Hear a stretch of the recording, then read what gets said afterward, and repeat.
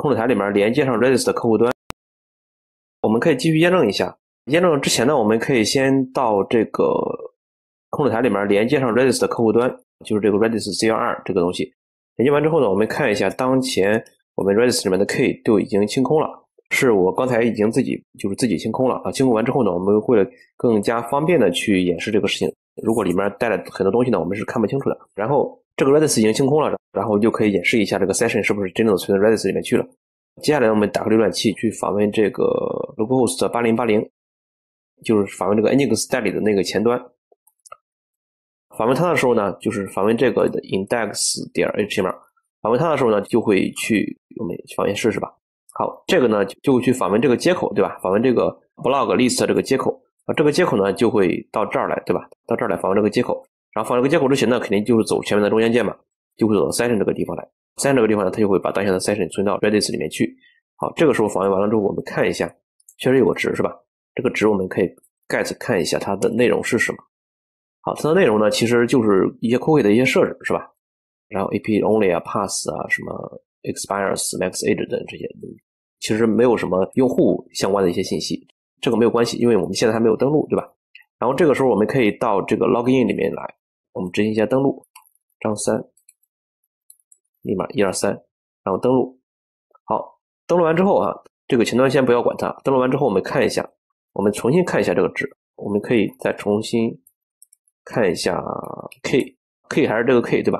然后我们重新看这个值，大家看这个 Redis 里面就有了 user name 等于张三，然后 real name 呢，real name 肯定就是张三的这个汉字的名字，对吧？大家看这个地方就能看出来，所以说说明我们这个 Redis 真正的是已经这个 Redis 真正的已经存储了 session 的数据，然后他们两个呢也真正的已经连起来了，所以说我们就是做这么一个测试来验证一下，这个时候我们就可以退出这个 Redis 客户端了啊，然后关掉它。好，这样的话我们大家看这个登录哈，登录第一个我把这个。打开 user.js，我把登录这个逻辑实现了，是吧？登录完之后，我还放到 session 里面去，以及呢，我们这个 session 和 redis 的这个逻辑就已经实现了啊。当然，前提是 session 已经实现了。好，这样的话呢，其实接下来我这个地方我就可以写了，对吧？我们把这个注释解开，就是如果管理员界面的话啊，如果 query 里面是管理员的话，然后我们就这个 login check 还没有写，对吧？login check 还没有写，然后先不要管它，然后我们至少是可以。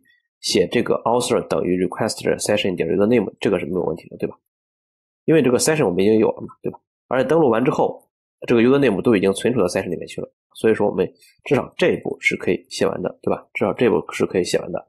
然后我们还需要一个什么东西呢？就是接下来我们要做接口的时候还需要什么东西？相和登录相关的，还需要个登录校验，对吧？就是那个我们一直提的那个中间件。哦，这个时候呢，我们就可以写一下哈，就是我们可以新建一个。在 Blog Express 里面新建一个目录叫 Middleware，就所有的中间件我们都放在那里面。好，建完之后，我们在这里面建一个 Login Check 的文件。好，首先我们把这个 Error Model 给它，就是 Model 里面的这个 Error Model 给它引用一下，因为会用到这个 Error Model。好，Require Model Response Model。好，引用完之后呢，然后我们直接去输出一个中间件的一个函数就行了，这个比较简单。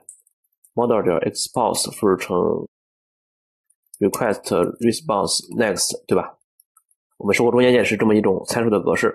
然后这里面呢，我们只需要判断 request 点 session 点 user name 就可以了。这个其实和我们刚才写的这个 login test 是一样的，就是判断 request session 点 user name 就可以了。就如果有这个的话，就证明它是已经登录了；如果没有这个的话，就证明它没有登录，对吧？如果有这个，就执行 next，对吧？就执行 next 就好了，就它已经登录了嘛。当然 return 一下，如果没有这个，就执行什么呢？就 response 点 json，然后这个不用写对象，直接 new 一个 error model 就可以了，然后输入一个内容叫未登录，对吧？大家看这块。这个我们先保存一下，这个和我们一开始讲中间件的时候的打开这个 r e s p r e s e test 这里面，这里面我们曾经模拟过一个登录验证是吧？大家看一下，而且模拟的还是一步的，还多了一步。模拟登录验证的时候，大家看一下，如果登录失败就返回一个失败信息，对吧？如果登录成功呢，就直接去 next。